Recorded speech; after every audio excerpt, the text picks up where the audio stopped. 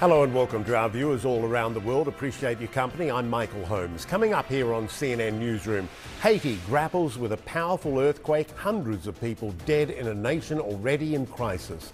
Afghan civilians on the run as the Taliban tighten their control over Afghanistan, and millions of people urged to seek shelter in Japan.